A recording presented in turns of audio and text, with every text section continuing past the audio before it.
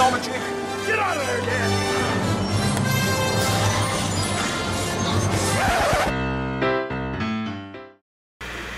I think that's all right. Am I wrong? Can you hear me? No, of course not. Oh, damn it. Let's see. Oh, even better. Hey. Can you hear me now? Um, I'm sure I will be able to as soon as this thing, uh, the delay picks up. How's it going, everybody? Hello there. Totally. Episode 41. Wow. So we must have skipped a few weeks. I know we have. Yeah, um, we've definitely skipped 20 weeks. because our episode one was June 23rd, 2017. It was a year ago. So Wow. uh, let's make sure I can hear Can what's you? going on here. I can't hear you at all. so that's good. Oh wait, now I can. Alrighty. Wait, how do we sound? Super quiet. Really? Yeah. So keep talking. I'm gonna actually increase the volume on the mixer. Oh, alrighty. Yeah. Well, welcome to a very warm June day in Reno. and I'm even joking. And I forgot my ice water at home. Nice. Well, I have my lavender latte, so that's good. Yeah. Yeah. Oh, Um, I'll have to check the volumes. Hopefully, um, wait, is that better? Well, I, there's a delay here, so um, you're probably loud now as you're hearing this. Sort You- of. You, people are hearing this, but I'll, I'll wait and see, and I'll adjust it again. It's still slightly low according to um, Well, we are having some issues with this mixer. really? The USB out has been Oh. outputting low. So maybe you want to jack it up on your side just a little bit because I'm not going Alright. to turn it up anymore on the mixer. Oh, gotcha. Alrighty. And then Properties. Save. All right. So while. Richie's doing that, I was saying um, our one year. This is kind of our one year anniversary episode because we three days ago uh, was when we released the the the um, we released the episode from last year, the first episode. Man. So yeah, wait. a little crazy. Oh my god. Wait, no, I'll just do two five. All right. No. And thanks for joining us on a on a Tuesday if you come in. Uh, although no one's joined us, so I'm, I'm saying that to Hello. literally nobody. Yay! That's even better. Yeah. nice. Oh, now we're um now we're at normal levels, even though I'm slightly soft. Oh, okay. Sounds good. I think. Wait. Oh damn it. Well, either way, we sound okay on here. You just might have to turn your volume up a little bit because we are still a, a hair quiet. We are. Um, yeah. Let's see. So anyway, uh, yeah. All so right. what's I up? think that's good right there. Yeah. I might be wrong. All right. We're still soft. I'm sure, I'm sure it'll be all right. I'm sure it'll be all right. Lies. You know what I've discovered? What's that? I mean, I should probably go talk about how my week went, but it's been so damn hot in my apartment that I've been just working outside. Which is both good and bad. You have air conditioning. Yeah, but it takes but the apartment is so hot and it's all Yeah. brick. Yeah. And it's in my bedroom because I'd rather have it near me when I'm Oh, yeah. sleeping than when I'm awake. Yeah. Absolutely. Anyway, for people people are wondering what we're talking about, it's really hot here. Yeah, it's in the 90s here. Um, It's supposed to be 98 today. is it? Mhm. Yeah. This is. That's pretty hot for June in Reno. Mm. Um, usually it doesn't get that way until you know end of July, August. So hopefully that's not a uh, sign of what the entire summer is going to be like. Yeah. I mean, we went camping up in Lake Tahoe on Sunday night. Just spent one Yeah. night up there. That was beautiful. It was great in the evening, nice and cold overnight, but not Yeah. like too cold. So I think that might be. Now that my wife has four day weekends, when she finishes this big uh, order she's doing for her side business, um, Yeah. which she's been working on on the weekends, I'm Wow. hoping that I'm hoping, I'm hoping we can take during some of the hottest parts of the summer. We can just go up to the Sierras and camp overnight. And now that you found the leak. Yeah, now that we found the leak, so we mentioned many episodes ago that uh, I bought the truck beds with a Z, B E D Z. Um, it's basically an air mattress that's designed to fit the bed of your truck, and Yeah. this one's for a short bed Tacoma. Yeah. And uh, actually, I think it fits other short bed versions as well with the wheel wells on the inside. Um, that's crucial because it's got like a little pad that goes over it. Um, so, but anyway, we saw reviews that were like they shipped with leaky seams and stuff like that. It's pissing people off, and Yeah. and sure enough, ours had a really small leak to start. Like the first night we used it, um, we probably pumped it up twice in the middle of the night. And then after that, we tried finding the leak, couldn't find it because it was too small. And then uh, and then we got on it just this Monday Sunday night, Yeah. and my God, it sounded like we left the valve open, the relief valve open, so it just completely opened up.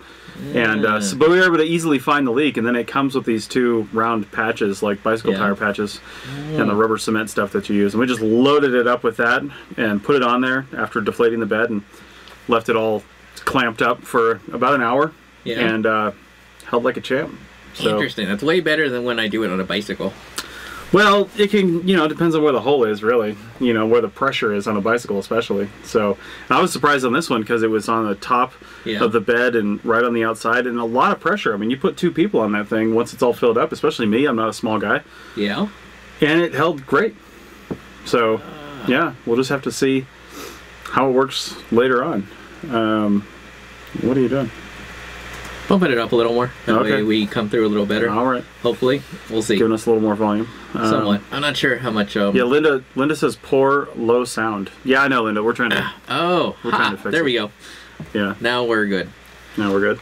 Well, thankfully these Hopefully that's louder. thankfully these meters are now color coded, so I can actually see them. Yeah. that was like, God, that was like one of those things that they probably should introduce a long time ago. Not that anyone at home knows what we're talking about, Yeah. but was I thinking, I don't know. well, you know, obviously I went to my dentist last week, which is something normally I can't take care of at this time of the year Yeah. because I'm not working that much.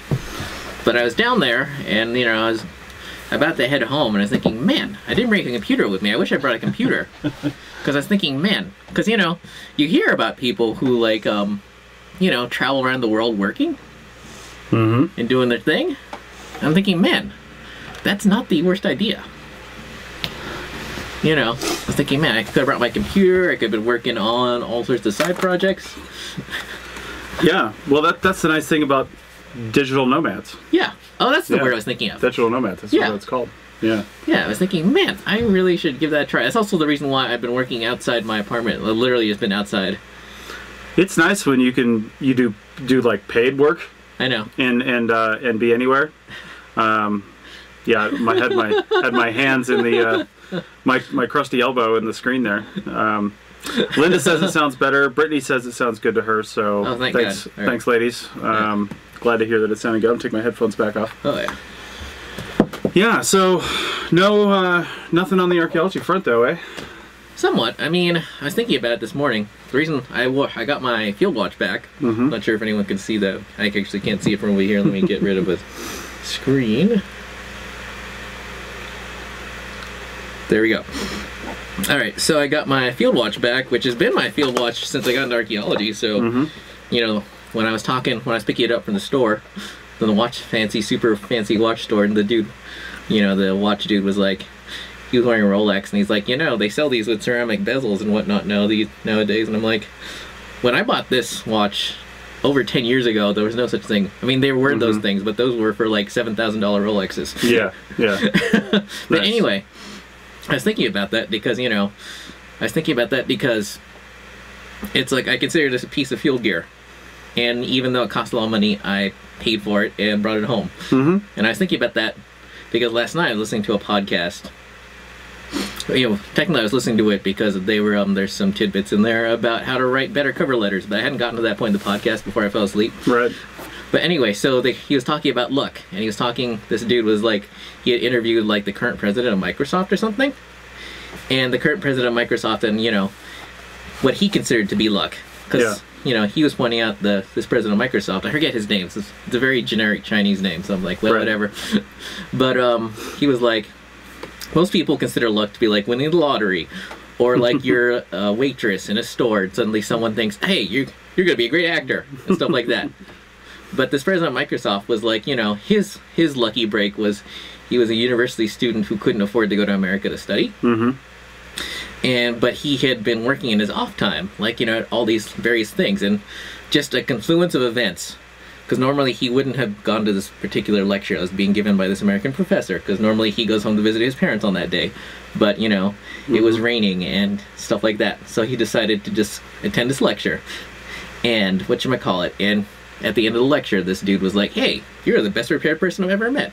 Do you know a bit about this?" And he's like, "Yeah, I wrote five like term I like five papers on it." So he runs upstairs, comes back down. He he impresses this professor so much that he offers him a free ride to I forget the American university it is, but that's you mm-hmm. know the thing is to him he, this president of Microsoft is saying that look opportunities come around all the time it's you know it's being prepared for it Yeah. that matters yeah.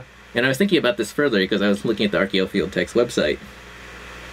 And there was this one person on there. I'm not, I, I don't know if you participate in the thread, but he's like, I That's sent my resume to 30 companies and no replies. You know, and people are trying to give her advice. She's like, no, I had people look at my resume and blah, blah, blah. I was thinking, it's not necessarily, you know, this person's expecting an opportunity to come to them, but, you know, are they prepared for it? Right.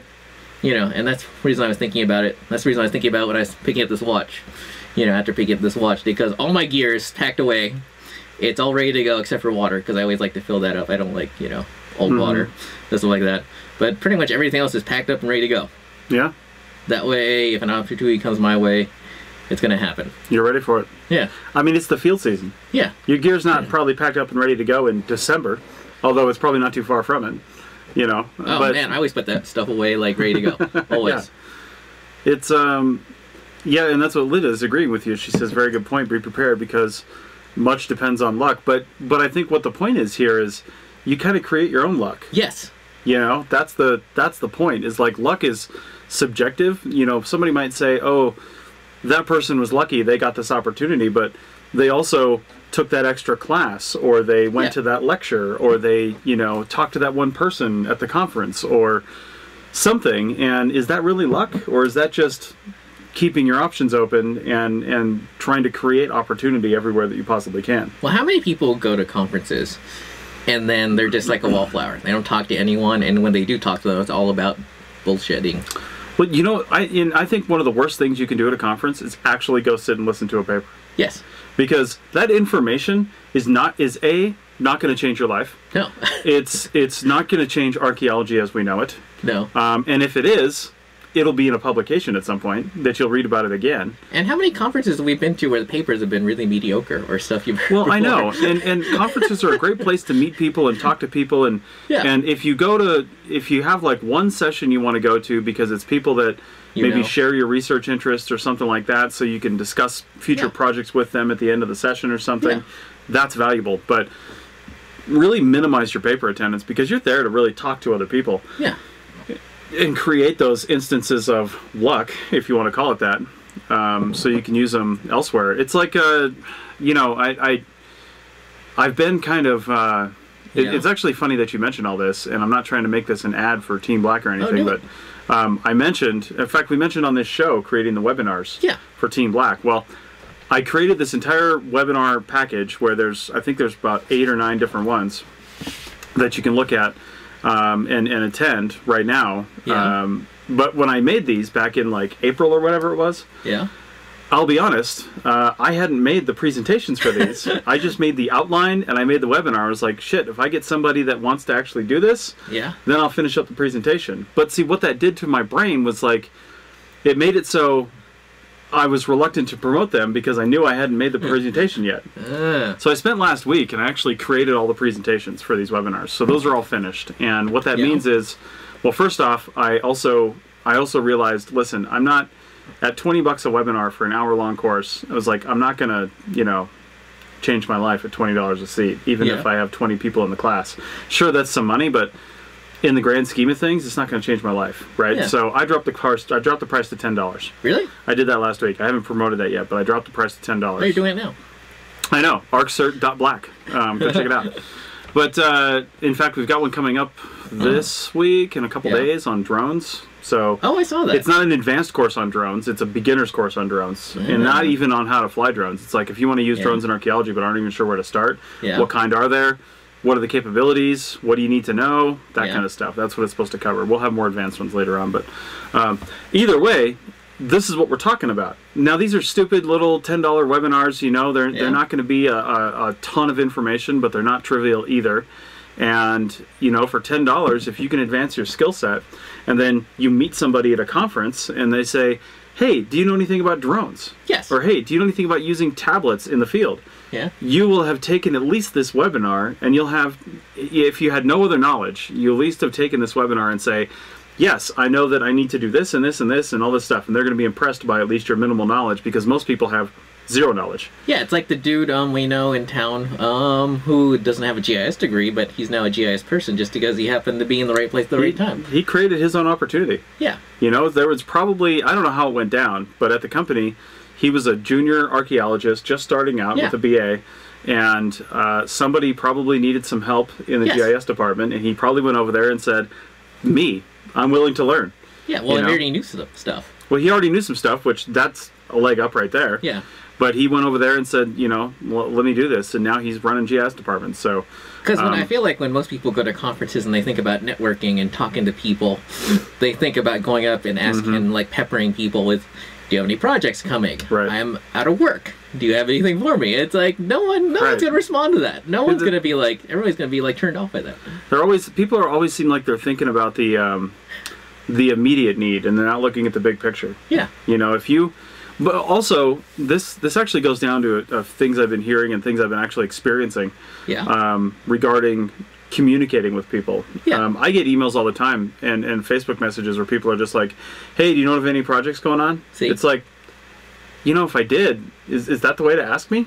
Is that am I going to actually tell you this? Apparently. You know, I mean, I don't. And first off, and second, you know, I'm I'm aware of what's going on with my company, and anything else I may be aware of, I'm going to be aware of because of the same sources you're aware of. There isn't some secret club where company owners go and talk about projects they've got coming out. what? Yeah, there's just that Or just doesn't you just exist. afraid? Or are you just afraid to admit it? I know, right? um, I mean, if there were, I wouldn't tell you. So there's that. But you know, to take that for what it's worth. Um, good point. But you know, the point is like it, it's all about you know professional communication. So if you do go to these conferences, don't Yeah. don't tell somebody. Um, the one common phrase you hear is, uh, you know, let me sit down. I'll buy you a cup of coffee, and I want to pick your brain about some stuff. Yeah. The person you're talking to doesn't have time for that. Exactly. They just don't have time. You need to provide them value Yeah.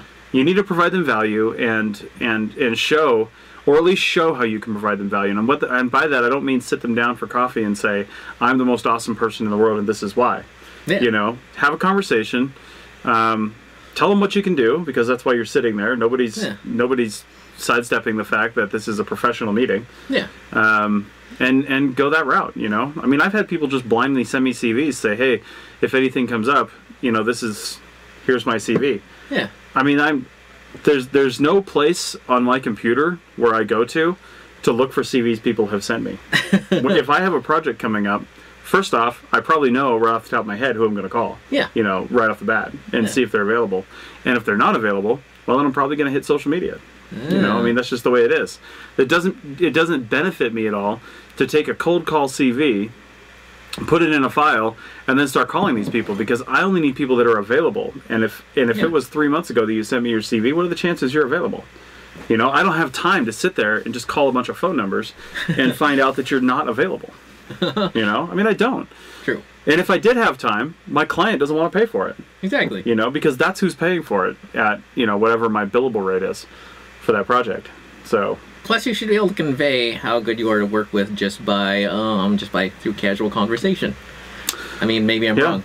Well, I mean, let's be honest. You know, most most people they ask for certain skill sets because if you don't know somebody, that's all you have to go on. Yeah. Is do you know how to do this?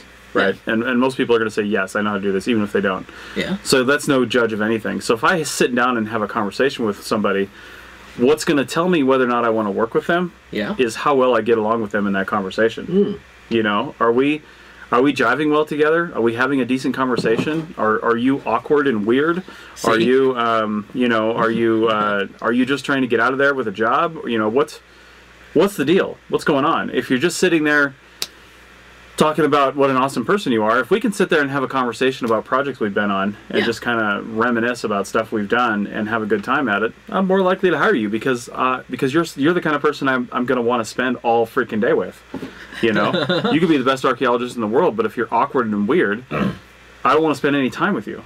Oh my You know god. what I mean? That's like um this dude I was working with out of New York. You know, he was um I'm not gonna say where or when, but you know, he was just irritating everyone in the crew, and uh, and he wasn't back Yeah. because you know, like he, supposedly he was a really good archaeologist according to the people in the office, but you know when we were out there working with with him out there, It's like no one gave a crap about any of that shit. Like we all know that stuff.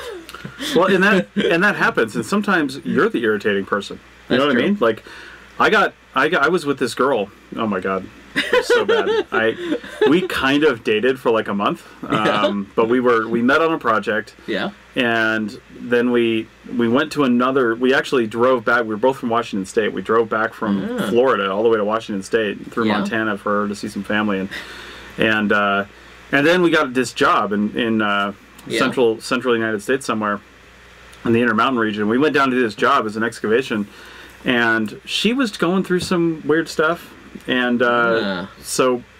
And, and I probably was too, but didn't realize it because I'm too close to my own things, right? But Yeah. I realized that she was going through some things, and and uh, so we just ended up kind of breaking up amicably while we were on Ah. that project. You know, just like a few weeks into it. Yeah. we are still staying in the same hotel room. It's not like we had this big drag out fight. We're just like, this isn't just working right now, right? Yeah. Like this isn't the right time.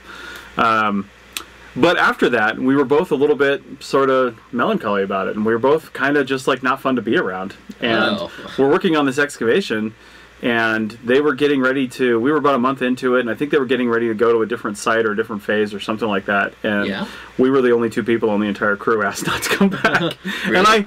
I don't fault them at all. like if I ever saw that crew chief again, I don't think she's even in archaeology anymore. I think she's actually in environmental law. But Ooh. I've seen the company again before. I actually talked to the company owner at SAA's. I don't think she remembers me at all. 'cause This was a long time ago. It's like ten years ago at this point, Ah. eleven years ago. But um, but I don't judge any of them for letting us go. I judge them for not letting us go sooner. like like we were really terrible to be around. We weren't being dicks or anything. We just weren't very fun. You know, and you want people that are going to be good, personable, fun, entertaining people to be around, and that's True. a tall order for some people. But uh, quite frankly, you know, you're not going to be a, a like a waiter or a waitress if you don't want to be around people Yeah. and and deal with them. So don't take that job.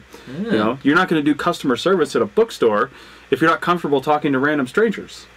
You know, I love talking to strangers all the time. exactly. but if you're not, you're not going to be comfortable in a job like that. And just like archaeology, if you're not going to be a a decent, you know, personable person on site, and like I said, I've had my Yeah. times when I was the dickhead on site, um, and I learned from those. But if you're not going to be that kind of person, well, then bigger crews are not going to want you around. Well, smaller crews really are not going to want you around. You could probably get away with it on a bigger crew. You know what's interesting though? But- it just it just popped to my mind. Yeah. It's like about being prepared. Mm-hmm. It's like I know several people who um they were about to be hired on a job and then suddenly they did the you know phone interview or the in person interview and then they totally lost the job. Yeah, It's like you know interviewing is a skill.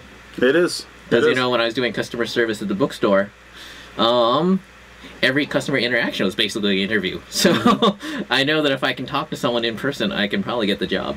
yeah, Which is, you know, it, it's been that way for a long time. I remember there was actually one time when I was a kid. Well, I guess wouldn't have been a kid since I wouldn't be able to work. But basically, I was in high school, and um, Nordstrom's was interviewing for a um, for um, holiday work. Mm-hmm. And my sister really wanted this job, but she didn't want to go alone, so she dragged me there with her.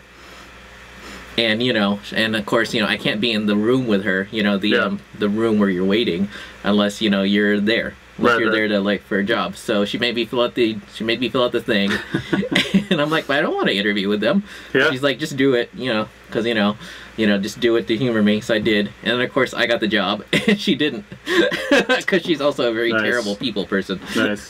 Whereas I was just like, you know, I didn't really want the job. I'm like, I was just chatting with the lady Yeah, who was hiring us. I'm like, right. I don't care.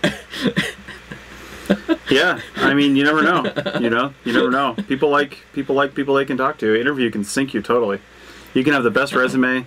Like this this girl Yeah. who who on Facebook who said she's applied for 30 jobs and doesn't have one yet. Um, I'd really be interested to, of course, see her CV or Yeah. her resume, see what it looks like. I'm sure it's fine. She, she's had other people look at it. I'm willing to bet there's no glaring anomalies there. yeah, But here's the thing. In CRM, especially this time of year, right now, and she started this post probably two months ago, so right at the beginning of the field season, and I don't even know, does it say in there where she's where she lives, or is she looking all over the country? She restricting it to a region? um, E- either way, either Yeah. way, 30 resumes, that's nothing. exactly. I mean, that's there's there's at least 500 different CRM firms in the United States. Yeah, So you haven't even hit like a, a small percentage of them, um, and and you're and you're frustrated. I mean, And, and also, how much experience does she have? Well, that's the thing. Like, if it's her first, if she's trying to break into it, then 30 is not a lot. 30's nothing. Yeah. You got to put your work in. Yeah. But then it, but then if you're um got slightly more experience, it shouldn't be that many. I feel like. No, and and the and you, you need to be constantly revising your CV too. Yes. So when you get that first job or you get that second or third job, you're you're adding that to your CV. You're Yeah. you're putting in a lot of detail about it because you don't have very much on there. Yeah. And maybe you're knocking off some school stuff at the end. You know, I had a six-page CV when I had my first job in archaeology because I had a ton of stuff on there from the Navy, you know, leadership things, other Yeah. jobs I'd worked, bunch of schoolwork projects, you know, projects I'd led or things I was proud of, and I had all this stuff on there. And as I got more work experience, I took off the um, Yeah. the school-related stuff because Oh. it was no longer relevant. And uh, my CV is so like stuffed that I generally take off companies that no one's either no one's ever heard of, or companies that um people will look at and go ick. Right, right. You know, like the company you worked for um, in Virgin Valley. Yeah, that was one of the first Yeah. ones I took off my resume. yeah. Well, I don't take. I honestly don't take. I, I've got companies I've been fired from on my resume. really? Um, I don't care. They're they're part of my work history, and what I highlight. It says I work for this company, so don't get me wrong. It says I work for that company, but what I highlight is the project. Ah. You know, because that project that that company worked for at Virgin Valley, that was a huge, significant project, True. and I don't want to take that off my resume. True. So, not not that I'm handing my resume to anybody lately, but you know, if I were to do that, I want them to know that I worked on that project. You know, like the Yeah. like the Rex East project, you know, in back east. You know, I want people to know I worked on Rex East Ooh. because the the reason when you get these huge multi-state projects that ends Yeah. up in in a certain region, like at least every single person in that region either has worked on the project or knows somebody that's worked on the project. Yeah. So just saying you worked on that project gives somebody an idea of what you've done. True. That's also know? why I'm so glad I work for another company in Virgin Valley. Yeah. yeah. It looks much better on my resume. Exactly. Exactly. So, I mean, maybe if you can get two of them on there, and one's better than the other, then take one off, and you still get the project on your resume. It's interesting though. How can people brush up on their damn um, interview skills? Well, it's hard. Um, you know, you there's there's a bunch of stuff on like YouTube. It's one of the videos that I want to work on, um, like Ooh. doing like a video on interview skills because I have a lot of stuff on interviewing. Yeah. Um, you know, back when we had PCS, we did a whole video on interviewing. you did. and uh, interviewing skills. Yeah, Uh-huh. um, in fact, we did it. we did it in a hotel room where we moved the hotel desk so the curtains for the window were behind it. We had Yeah. the lights set up and we made it look like an office desk. yeah. It was great. Um, but I'm gonna I'm going to you know recreate and do some stuff so people understand interviewing and job hunting skills. And as usual, anything that's related to getting you a job on Team Black will always be free Ah. um, the webinars. Um, I want to run back to that real quick because Yeah. while I did drop the cost of the videos, um, the non-job related ones, to ten dollars for the webinar, which again, drop in the bucket. And it some of these are during the workday, but I expect if you're not in the field, that you tell your employer if you're in the office, listen, I'm Yeah. taking a webinar, and and I hope your employer is going to pay for it. So. I mean, it's it's job enhancement. True. That's how I see them. These aren't these aren't mess around kind of things. But Yeah. anyway, um, you know, we're gonna have a few more up there, but we're also I'm also once I get enough of these things up there to where I'm comfortable offering this, Yeah. I'm gonna offer. Uh, I'm tying it into the Archaeology Podcast Network professional membership. So Ah. pro subscribers to the APN are 20 bucks a month right now. They get you know bonus episodes, episodes ahead of time, some swag, Yeah. stuff like that. Ooh. But they also get learning content. Yeah. And how I'm tying in the learning content is Arc, uh, you know, Team Black. Yeah. So, but also, I'm going to add the Team Black membership. So that's going to be $20 a month. And that gets you all the webinars for free. Also, um, gets you all the APN stuff for free. Ah. So one membership gets you all three things. Or all both things, both things. There's a third thing that I'm not ready to talk about yet. it's interesting. so- Wait, how are any new members? Um, you know, we've had a, uh, a handful. Um, we had a couple people that had to drop off Ah. um, because they, for one reason or another, their finances. They're just like, I need to take a Mm. break for a little while. Yeah. from 20 bucks a month. Uh, one one person was at 10 and another was at 20. So, but they, I think they'll be back. They didn't seem Mm. frustrated, which is great. And I understand financial concerns. You got to cut cut where you can. And APN is a you know, while it's not tied to Team Black right now, APN is kind of a, a luxury item for most people. So, True. Um, you know, it's you can listen to all our podcasts for free. If you want the extra stuff, that's kind of a luxury item. So if Yeah. you've got to cut something, you know seriously cut that if it means you're not going to eat food. True. But uh, but the Team Black thing I see as you know once we add that in to the Yeah. membership, I I don't I think it then becomes an essential thing. Um, It becomes something you need to keep brushing up on your skills. Um, and once the other thing I'm waiting to do that is I'm going to actually stop doing the webinars um, Yeah. when I get enough stuff up there. Um, I'll still have like a office hours types of webinars where people Yeah. can just like ask me whatever they want to ask me, Yeah. and I'll bring other people in because I don't have all the answers either. Yeah. But I'm going to record all the webinars and have them just available as videos that you can watch anytime you want. Interesting. So if you're just joining us, I see um, Leah and, and Hunter. Leah took one of the Team Black webinars. Um, she took the jobs webinar, and one of the first, I think the first one we offered, Yeah. and uh, and then we got Hunter in there too. But uh, welcome, and Yeah, what we're talking about is Team Black. ArcCert.black is the website, Yeah. and uh, ten dollars for webinars, free for jobs-related ones, and membership coming soon that gets you access to all the videos as many times as you want to watch them, um, with new ones added every month, hopefully, Yeah. um, for free. So Oh, you know what's in? You know, when you were talking about um, you're talking about luxury items. One of those things that I didn't realize a lot of people consider a watch to be a luxury item these days. Yeah. But you know, when Well, you're the, most people have a clock on their phone, so that's the thing. Like you know, when you're in the field, obviously you can't use that. Yeah. well, I mean you can, but it's just like an extra thing to have in your pocket. You gotta haul out and crap. right, right. But I was thinking, man, how many people consider? How many field techs have you seen who consider some weird things like to be luxury items, like um, like a water bottle or a CamelBak? You know, Or a car that works. that too. I mean, like you were talking about that dude who um, what used to use those gallon jugs and he My broke his camera. Yeah.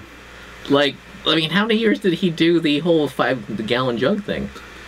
Yeah, it's some some places I don't feel like skimping in on on items is uh, is beneficial to you. Yeah. Field clothing, boots, stuff like that. Yeah, You know, water bottles. These are areas where sure you can save money if you want, but if you just spend a little bit extra money one time, you'll actually save a lot more money in the end. see, You know, and that's that's what's really hard for people to see.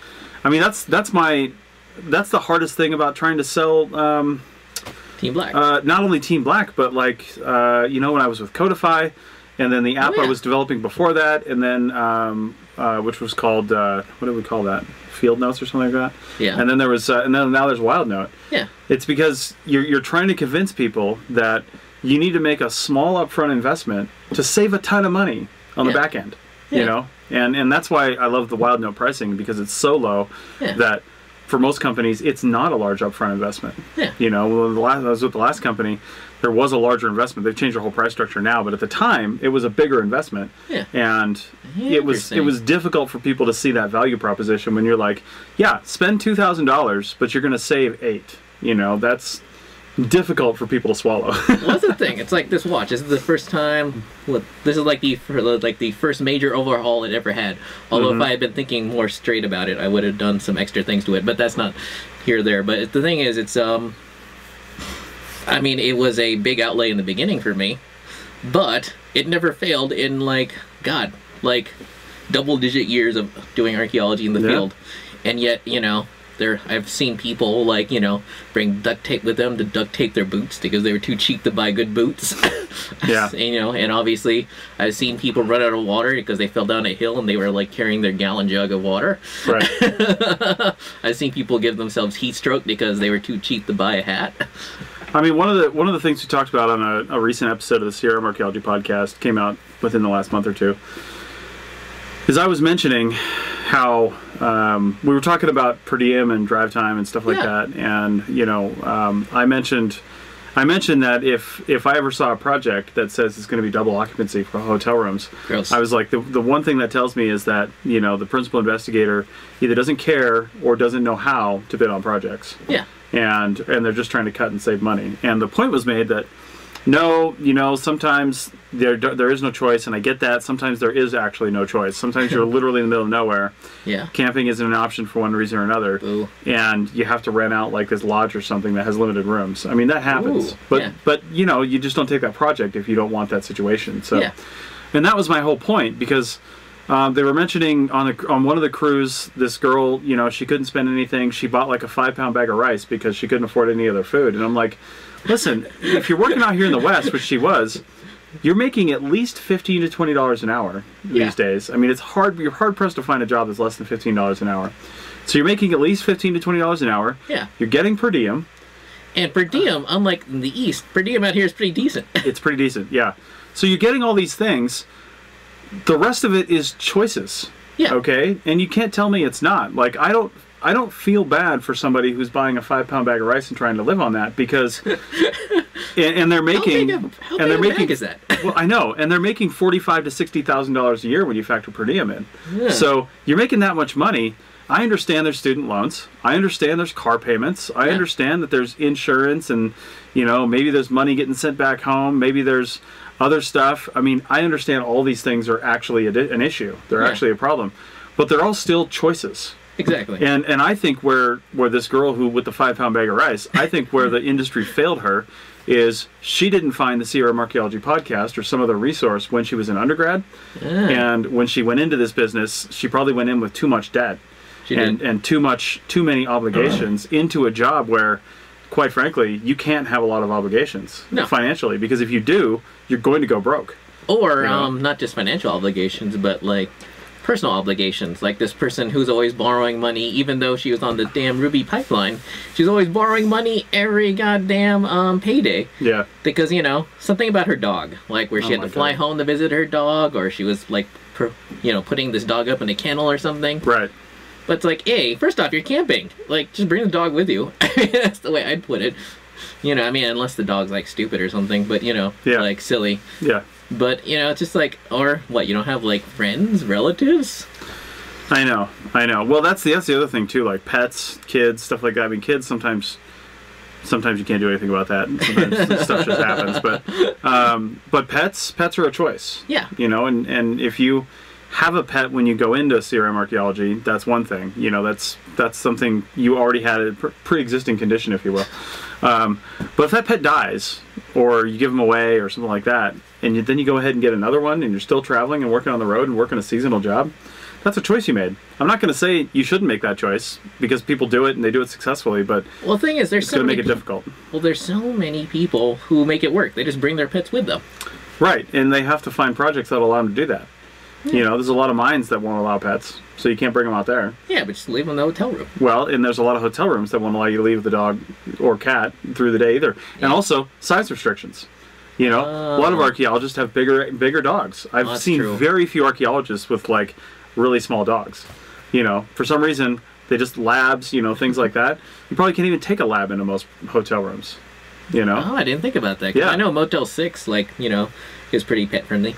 And if you can find a pet friendly hotel, then fantastic. But Yeah. you have to pick and choose your projects, and that limits your Mm, options. And if you're fine with that, if you got enough experience to where you can pick and choose your projects, you have to wait until you get to that point, though. Yeah, You know, to where you can do that. But you're not gonna be able to do that right out of college. that's true. You got to take what you can get. True. You got to put in hundred resumes and take what you can get.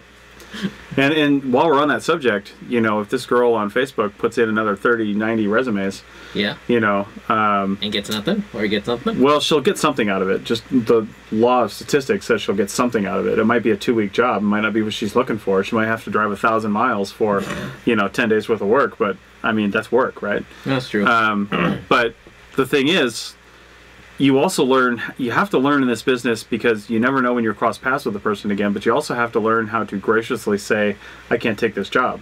that's Um, true. Because it, when it rains, it pours. You know, you'll put in 30 resumes and not hear anything, and then say, oh, "Okay, I'm going to put in 10 more," and like five of them will call you back. Oh, That's happened God, to me before, and you know that happened to my wife and I when we started getting more and more experience. You know, we were looking for jobs. We we submitted together. I knew I knew couples that submitted separately and just hoped they both got the job. What? But we submitted together. I submitted two resumes, one cover letter, and Yeah. two two sets of references. And I would say, listen, we come as a package deal Ooh. you know you you you get one of us you get Yeah. both of us Ah. and if you don't have two positions then thank you for your time um, and it worked every time Ooh. we always got jobs we always had work and sometimes we had to turn down work because we had two that called us at the same time and we'd have to make a choice and we like Yeah. sorry we we took this other job you know Yeah. but please keep us in mind for your next thing you know It's interesting because actually today, I mean, well, it depends. I mean, I might have to go do something later, but I was going to revise my cover letter today. I hmm. probably already mentioned that. yeah That's the reason I was listening to that podcast because this dude was it?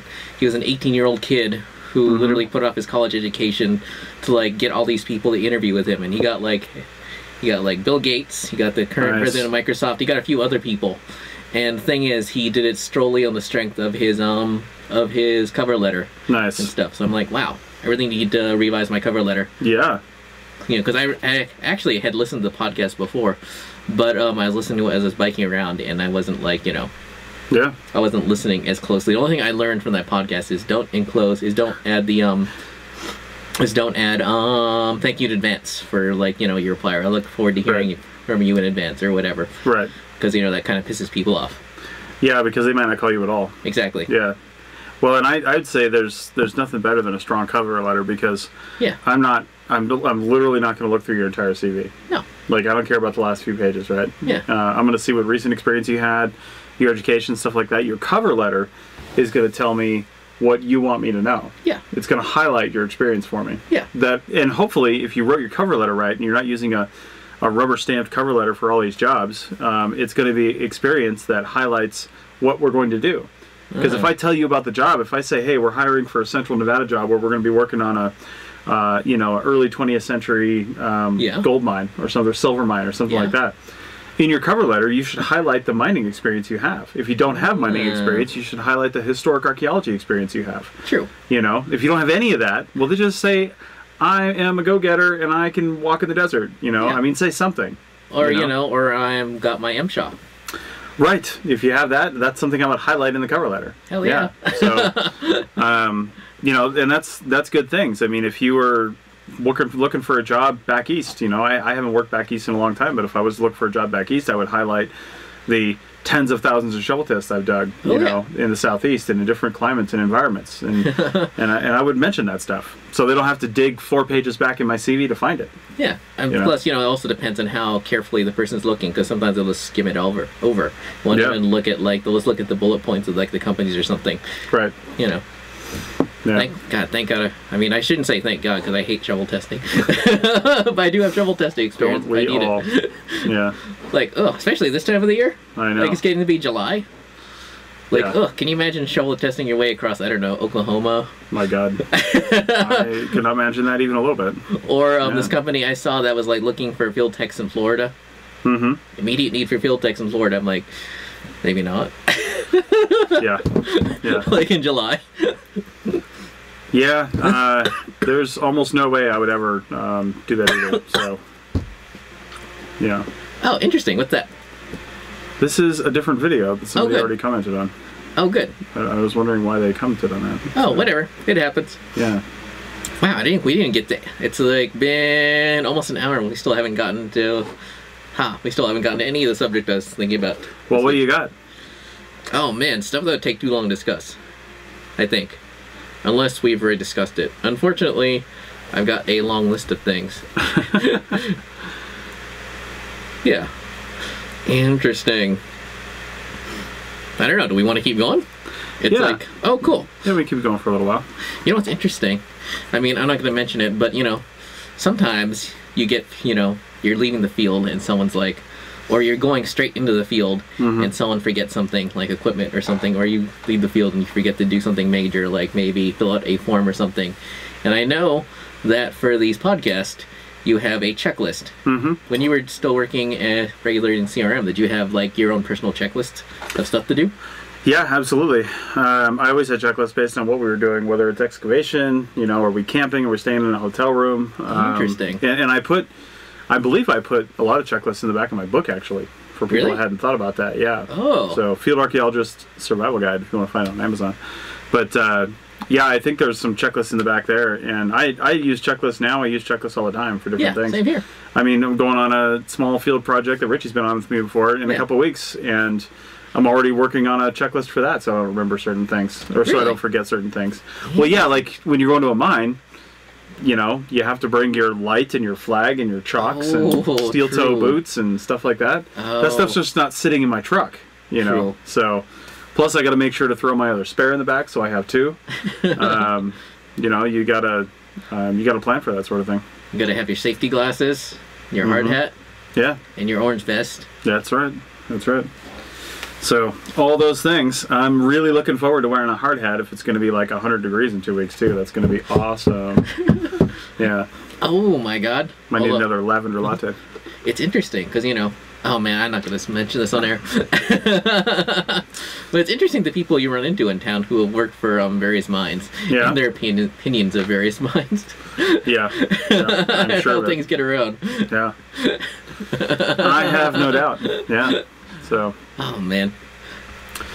well, anyway, maybe Yeah. we can uh, start transitioning. Oh, um, out of this. And uh, I just want to remind everybody, especially now when you are looking for jobs. Um, oh, wait, Leah's got a comment. Oh, Um, good. she says uh, she uses checklist too. She's doing a lot of local work and had to leave her house early, so it's essential. Yeah, absolutely. You don't want to be scrambling for something and forget something at five o'clock in the morning or even earlier. You know, um, checklists are checklists are amazing and useful. So I mean, Um, for me, a checklist is the equivalent of having all your gear packed up. yeah, Because when I used to live in LA, my um, my storage unit was not anywhere close to my apartment, but it was on the way out of town. So if I was heading to Nevada, I would just pull out the freeway, grab my stuff, and go. Mm-hmm. You know, and it's the same thing. Like you know, that's the reason why I always make sure that everything is packed and ready to go. Because you know, I just like pulling my truck up, grabbing, and going.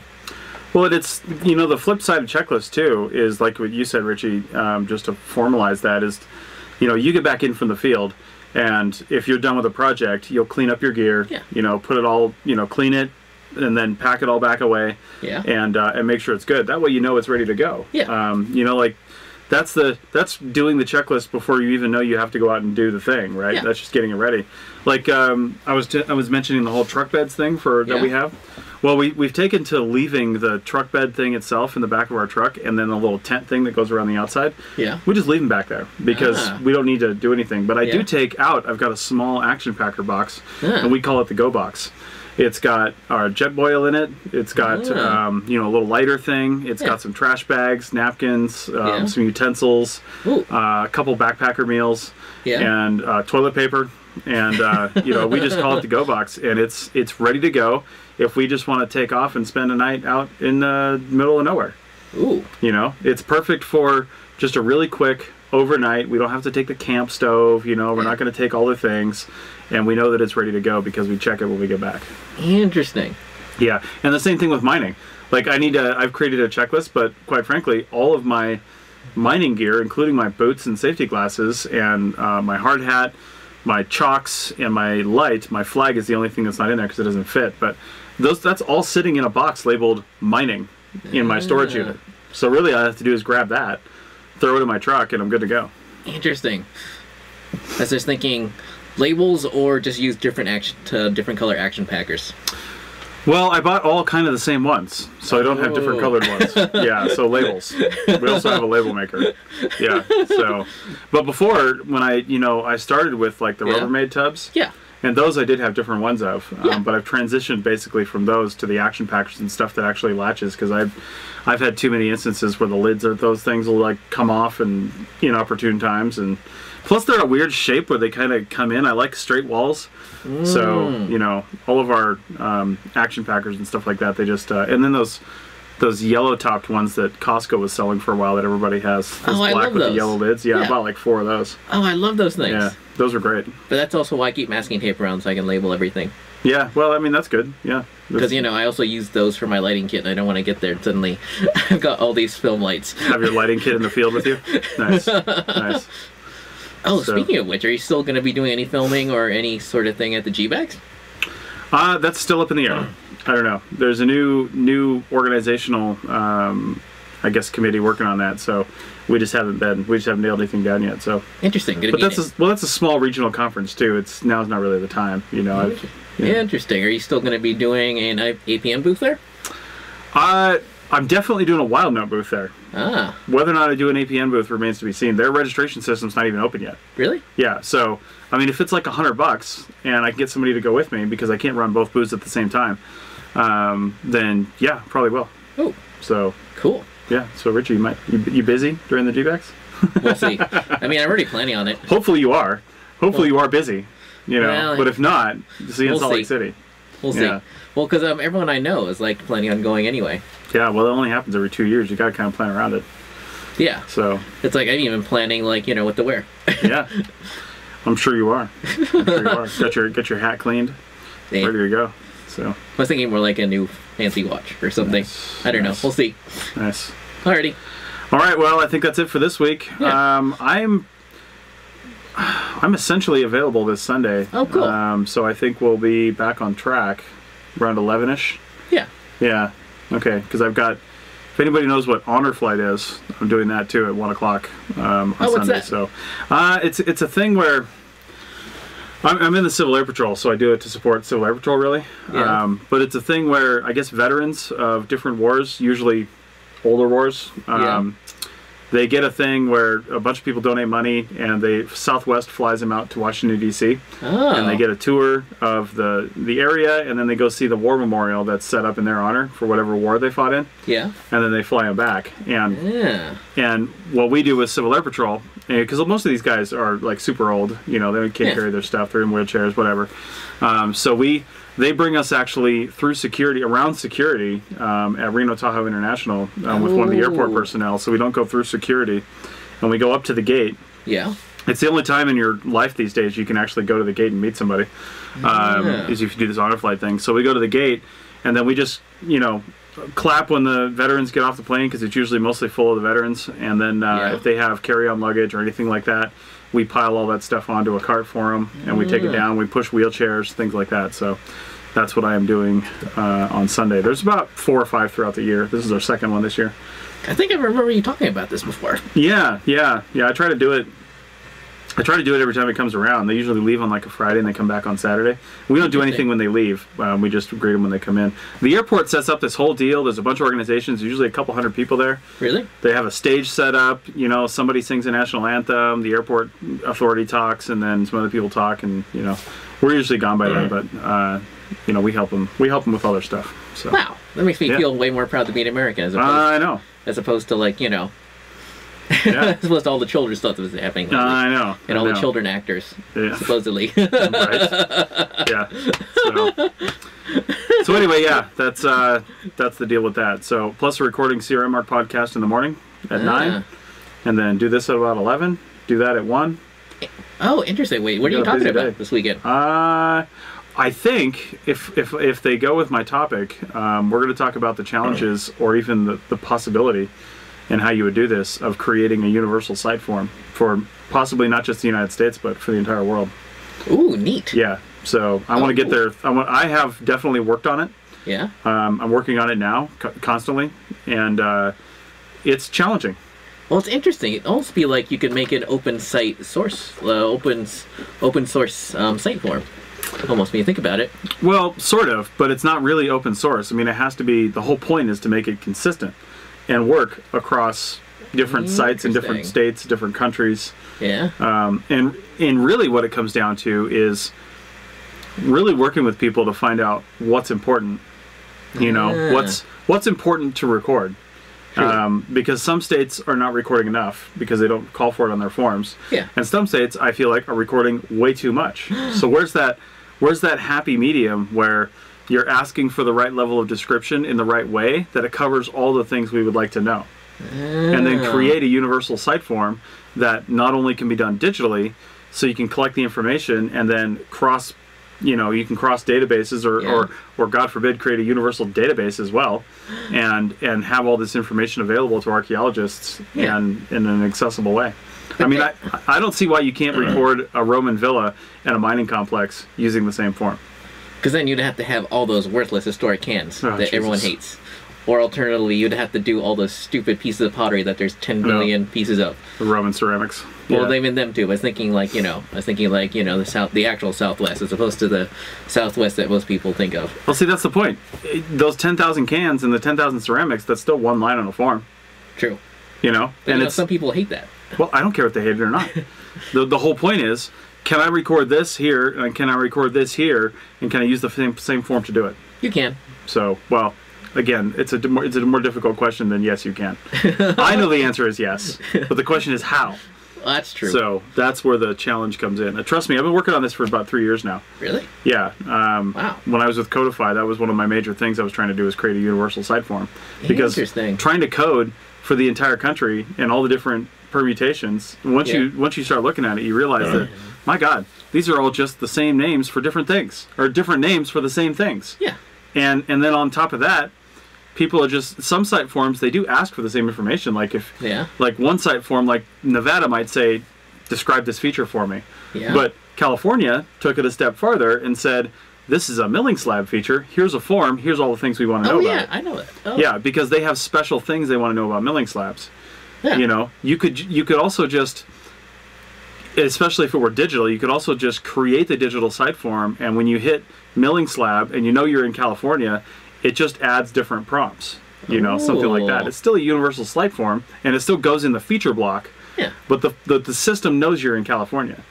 So Uh, it gives you other prompts. You're still asking for the same information, and any Yeah. archaeologist worth their salt would have put all that information anyway, because you because they're asking for an, an incredible amount of description, and that's what our job is. If you teach people to describe down to the most minute detail, which is what our job is, yeah. then they should be able to fill out any side form, That's true. and it doesn't matter what prompts are on there. That's true. But also sometimes people just don't care. Well, that's a different problem entirely. I know. Yeah, and that then it comes down to leadership. You should be reviewing people's work, and if your leaders don't care, well, then you got even more problems. Mm-hmm. So Well, that too. I just meant Yeah. like sometimes people just don't care about like you know, oh my god, another can. Bah. I know, I know. it's weird. We get frustrated when we find stuff, but that's literally our job. Yeah. Yeah, it's it's catch twenty two. Plus, some people find that stuff Yeah. interesting, like about glass and stuff. know. I mean, whereas you know, I'm kind of bored to tears with like prehistoric stuff. I'm like, Right. well, whatever. Right. Oh my god, look at this lanceolate or whatever. And I'm like, Yeah. all right, whatever. I know. Hey, uh, I got to mention real quick too. Arc, ArchPodNet or archaeologypodcastnetwork.com forward slash shop. Oh yeah. Uh, we put up some new designs out there. We got one that's really cool that just says like hashtag archaeology and uh, hashtag shovelbone.